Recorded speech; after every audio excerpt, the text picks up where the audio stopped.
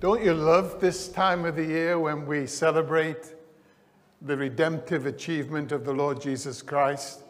And what did Paul say if I shout, um, what did he say if I say he is risen? You would say, He is risen. He is risen. He is risen indeed. He is risen indeed. Hallelujah. Would you like to stand up a moment? Would you like to stand up a moment? Um, just, I know that uh, you've got some space in your seats, but um, sometimes when we're really praising God, you want to dance, right? Is that correct? And, and you may not be able to do because of the chairs, but you can dance on the spot. Is that right? Yes. So you can go forward, sideways, backwards, forwards, sway the body a little bit. Is that correct? Yes. So we're not stiff and starchy. We are a people of celebration. He is risen. Hallelujah! Hallelujah! Come on! Thank you, Jesus. You may be seated. For if Christ also suffered once for sins, the righteous for the unrighteous, that he might bring us to God, being put to death in the flesh, but made alive in the spirit, in which he went and proclaimed to the spirits in prison, because they formerly did not obey. When God's patience waited in the days of Noah, while the ark was being prepared, in which a few, that is, eight persons, were brought safely through the water baptism, which corresponds to this now saves you, saves you not a removal of debt from the body, but an appeal to God for a good conscience through the resurrection of Jesus Christ. I have a good conscience. I have a good conscience. Say to the person next to you, I have a good conscience because of the resurrection of Jesus Christ who's gone into heaven and is at the right hand of God with angels, authorities, and powers having been subjected to him. So they departed quickly from the tomb with fear and great joy and ran to tell his disciples. And behold, Jesus met them and said, Greetings. Good morning, probably. Good morning. The dark is gone. And they came up and, look, took hold of his feet and worshipped him. And then Jesus said to them, Do not be afraid. Do not be afraid. Go and tell my brothers to go to Galilee, and there they will see me. Well, he was in the world, in flesh and blood, and the world was made through him, and the world did not know him. He came to his own, and those who were his own did not receive him. But as many as received him, as many as received him, to them he gave the right to become children of God, even to those who believe in his name. What a wonderful story we have. I can't remember the name of the writer and the author who coined a um, a devotion when he said that this is the greatest story ever told. I think it was Sangster. This is the greatest story ever to be told. I want to look at three main things. First of all, what he had to deal with, so that we've got some real weight to what we really believe. The weapons of ridicule. The weapons of ridicule right from the very outset, Jesus suffered the persecution of those who despised him. He had to suffer the sneering of contempt, and by that I mean it was not just words that people used, it was the attitude that they had towards him. Even in his own hometown, when he began to expound the scriptures, they couldn't get their head around who is this guy? Why is he saying these things in this way? the harsh ridicule, and the torture that he went through upon the cross. His greatest suffering was watching his own disciples suffer and not able to cope with what he had to go through.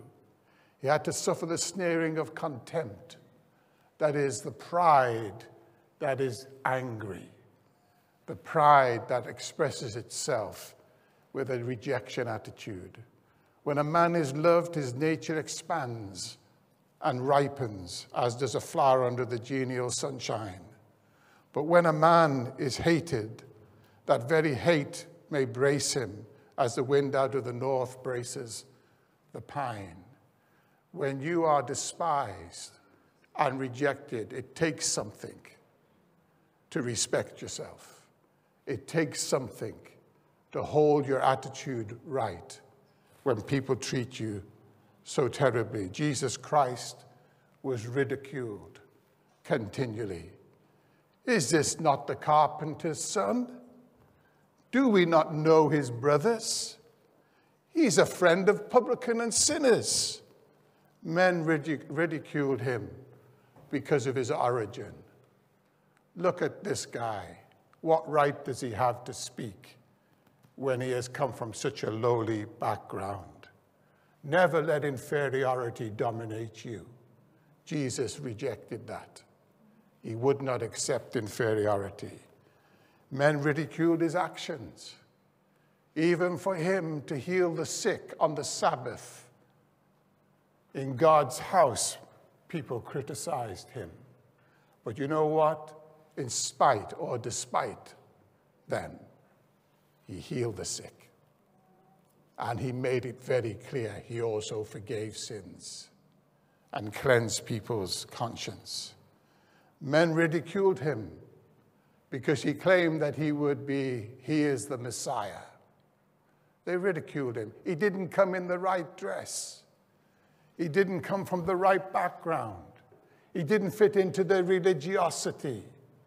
He said things as they really were because he said at one point, I am the way, the truth.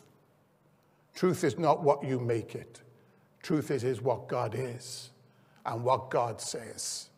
Never despise what God says because he speaks the truth. I am the way, the truth, and the life. No man comes to the Father unless he comes by me. So in history, there's so, such exposure of cruelty to the truth. People today don't want the truth. So, what they do before they change your behavior, they'll change the language that they use, the definitions that you hold to.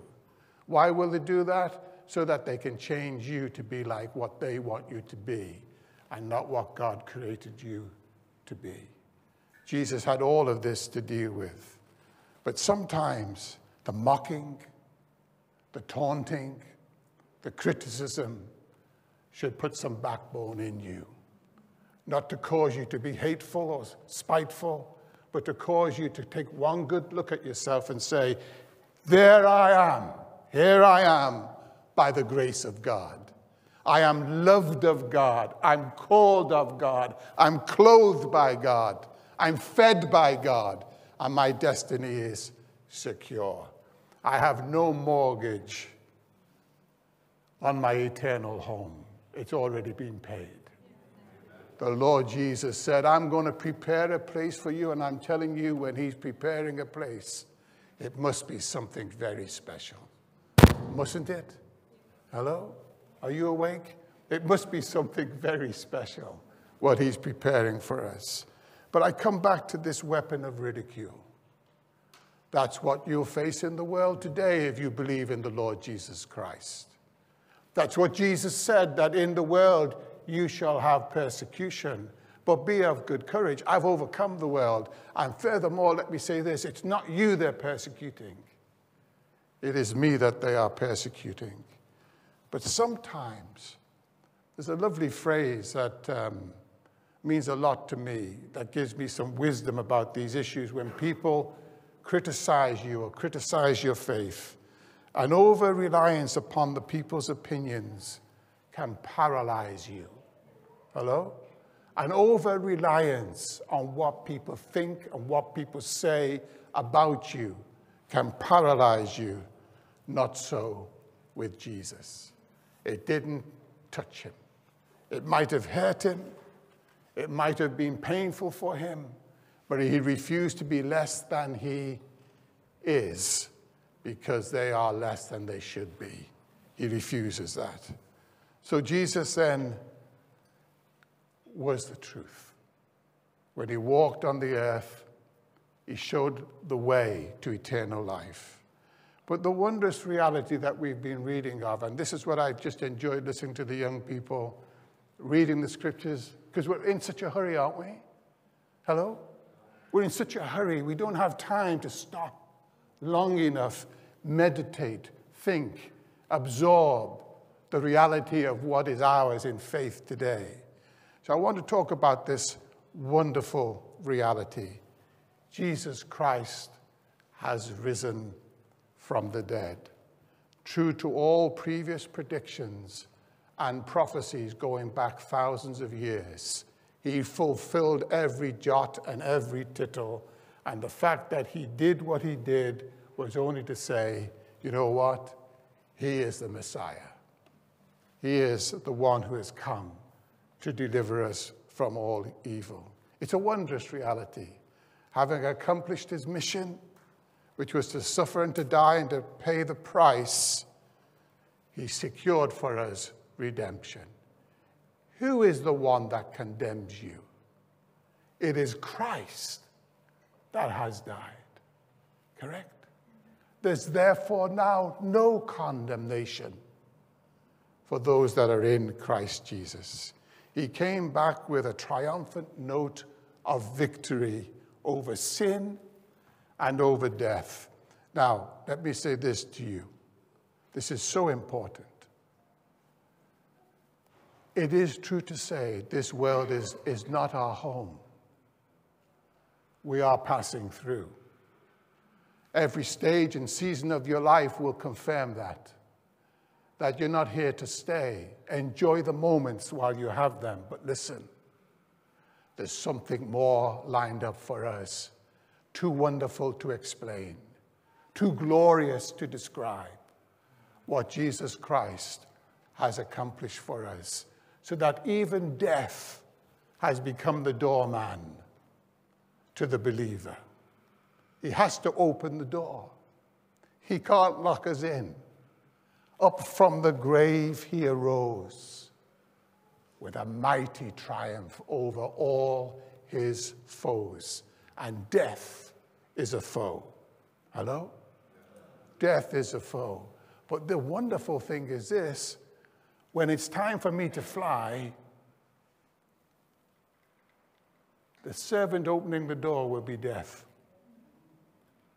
And I won't give him a thank you I'll say to him, God's put you in the right place, opening the door for the believer to fly.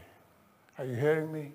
This is a wonderful salvation because of what Jesus has achieved. The whole history of the Christian church and even its very existence is unintelligible except for the resurrection. If there was no resurrection, we would just be a religious group of nutters going nowhere but round in circles.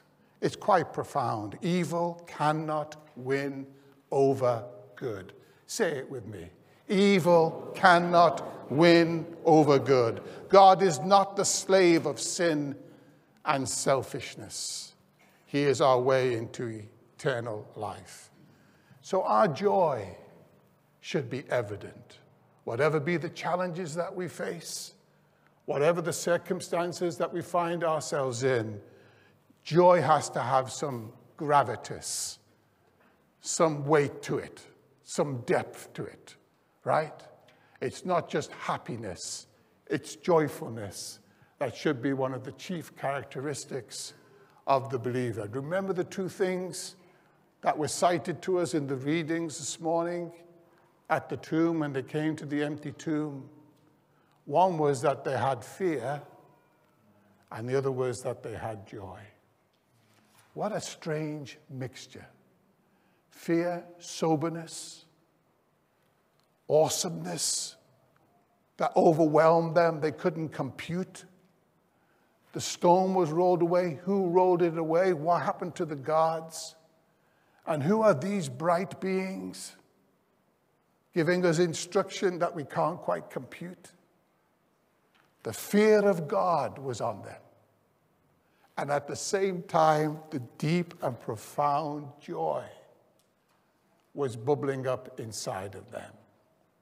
This combination is important to put things into perspective. The fear of God, the respect of God, the humility towards God. God, you're bigger than I thought. God, you can do what I could never even compute. You went into the bowels of hell. Jesus, you went right down and preached in the bowels of hell.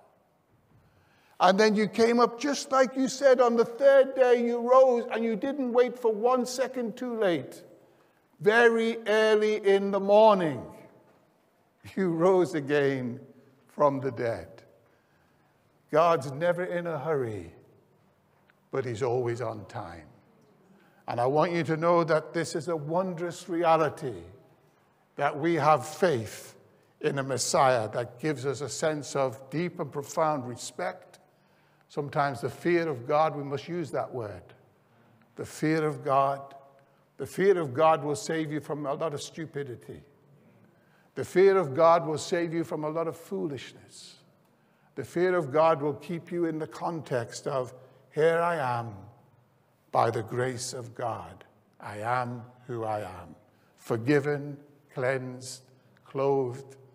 I've even got a signature ring that says, I belong to the covenant of Jesus Christ. So our joy has got to be deeper than just happiness. It's got to cause us to have, well, I'm almost there now, a swing in us. We love the Lord with all our heart for what he has done. So the resurrection is about the winning side. Turn to the person next to you and say, You do know that if you believe in the Lord, you're on the winning side. Would you do that?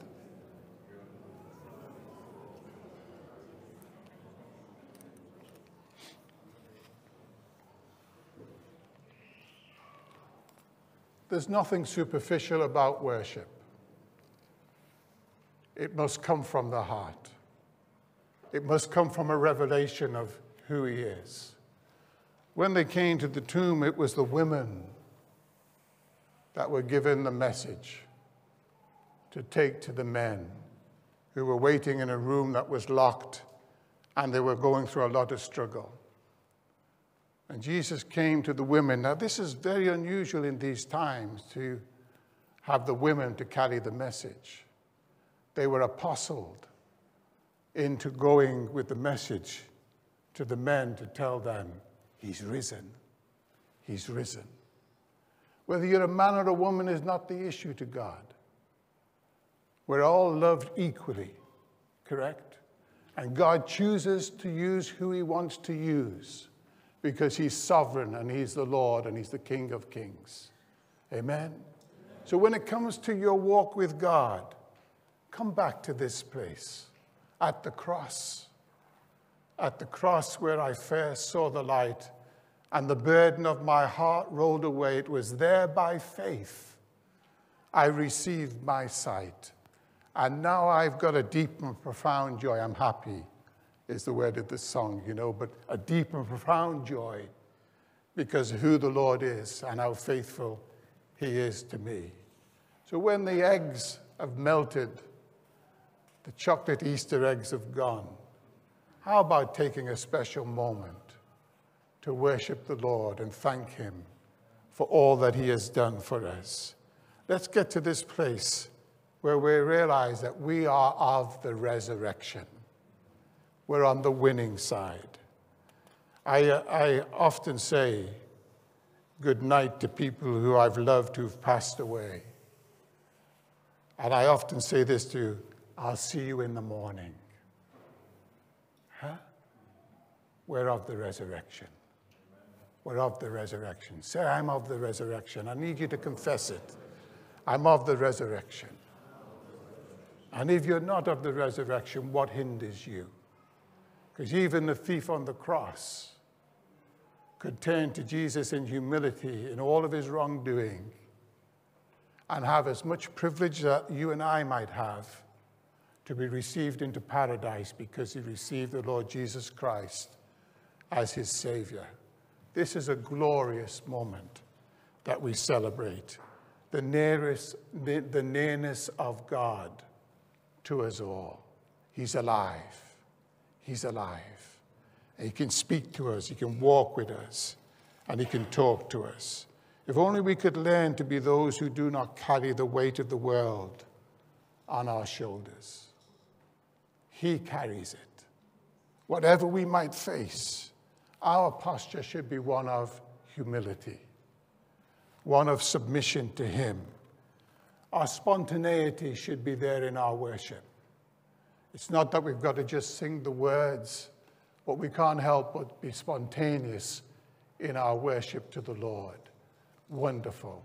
You think of doubting Thomas, he got a hard press, didn't he? When he, he said, Unless I can touch his wounds and put my fingers into the, the wounds, then I won't believe. He got a hard press. But Jesus came lovingly to Thomas. He didn't call him a doubting Thomas because he knew that Thomas was one of these people who had to see it for himself and he had to question it and find the answer so that he knew it was not just superficial. So that when Jesus comes to him, what does he do? He allows him to put his fingers into the wounds in his side. He allows him to touch him. What's he doing? Is, is he just encouraging Thomas to be a doubter? He wasn't a doubter, he was a questioner. It's not a problem to question God. Do you understand me? Hello? It's not a problem to ask questions. If you don't ask questions, you don't learn anything. It's not a question to prove something. And I have to say, from the age of nine, I have to say, from the age of nine, before I even knew anything about a university or a college, Jesus Christ came into my life and he's never left. Never left me. Through every stage of life, he's been there. And when I've never understood something, he has a way of coming close and enlightening me and showing me what is real. Come back to this today, will you? Simplicity of acknowledgement that we might have our questions, we might have our challenges, we might have our lacks. That's not a bad thing. It makes us all the more dependent on God to reveal himself to us. And I love the fact that Jesus visited over 500 different people before he ascended into glory. He took the time to touch, to embrace, to have a barbecue on the beach. I love that. Holiness is not something prude, you know, that's detached from the reality. Jesus, he had a beautiful barbecue. I'm sure that it must show you something of his humanity. He hasn't abandoned his humanity, even with his deity. Up from the grave he arose with a mighty triumph over his foes. He's a wonderful Savior, isn't he? There's a beautiful um, hymn.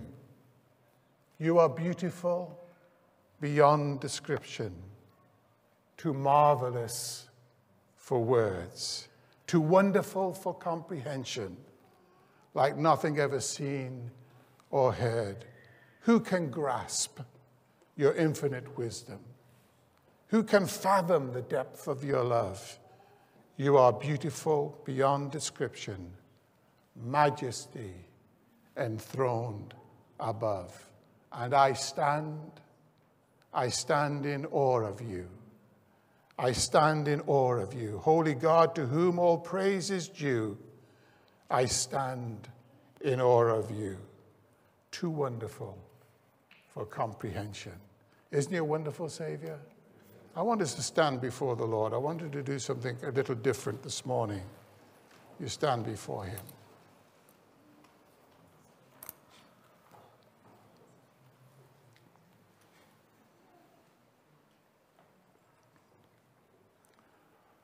Would you just turn to one another and say good morning, meaning it's a resurrection morning?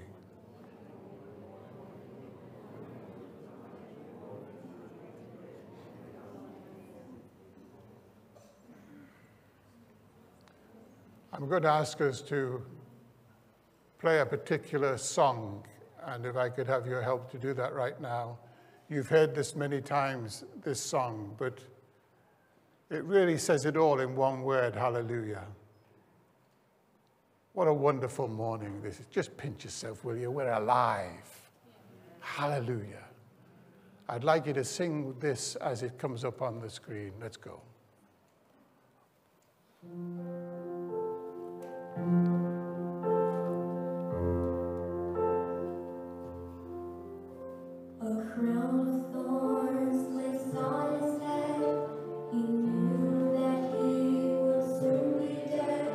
He said,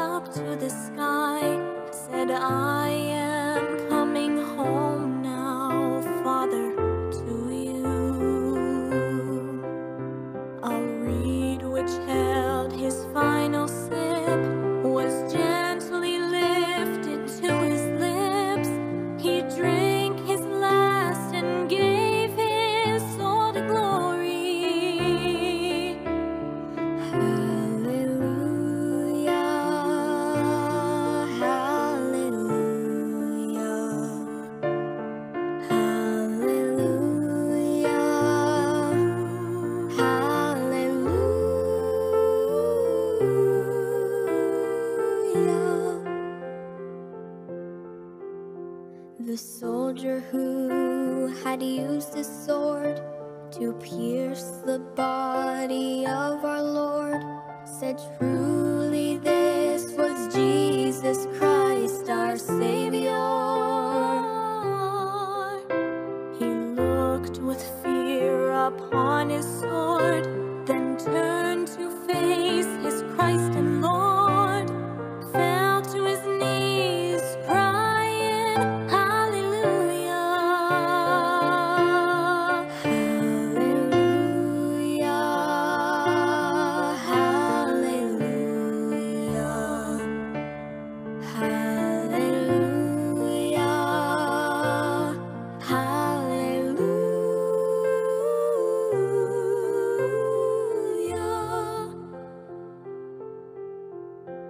Took from his head the thorny crown and wrapped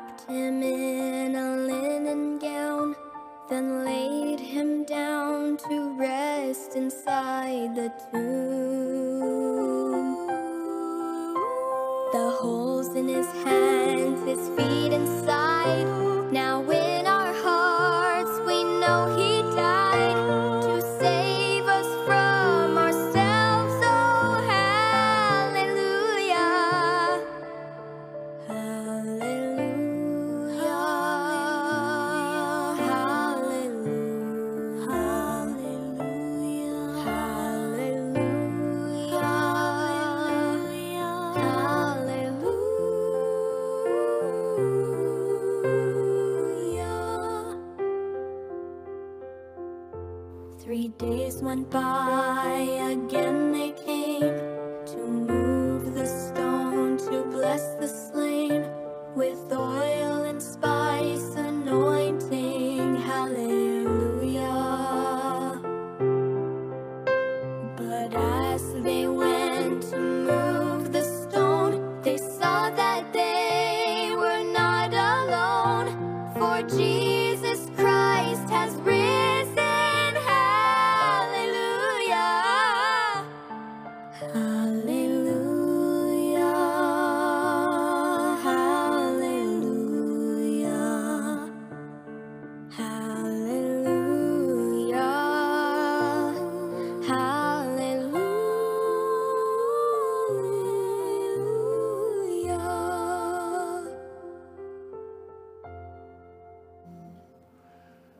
This posture of humility, you remain standing for a moment.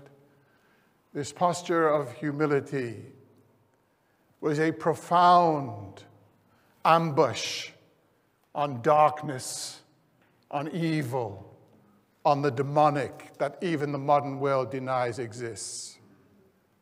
He took death and dealt with it. He took darkness and caught them out by surprise. The cross, instead of it being a fatal wound, it became the throne from which he rules over death and hell and Hades. This is a most profound achievement. How loved you are. How loved you are. God so loved that he didn't even spare his own son, that whoever believes on him shall be saved. Whatever be the accuser, God's taking care of him. Thank you, Lord. Thank you for what you went through. Thank you for making a gift out of suffering. Help us to see that you're in our suffering. Help us to understand that you've gifted us You've entrusted us, even with the pain and the disappointments of life. You've trusted us, entrusted us. Because we know, Lord, that you will work all things together for our good. The enemy is taken care of. Our circumstances are our slaves, not the opposite way around. You will teach us things that we would not have known if it wasn't for the pain that we have had to face. Thank you for Peter, how you restored him. Thank you, Father, for the way you care about us. Now we come before you. Deliver us from evil. Allow us to be able to say good morning. Good morning with a smile. God's morning, His grace is with us. Hallelujah.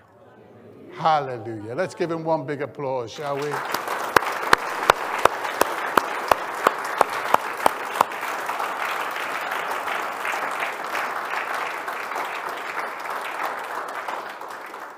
I've got nothing else to say. I'm just so blessed by the grace of God, aren't you? Enjoy the fellowship. Happy Easter, everybody. Bye.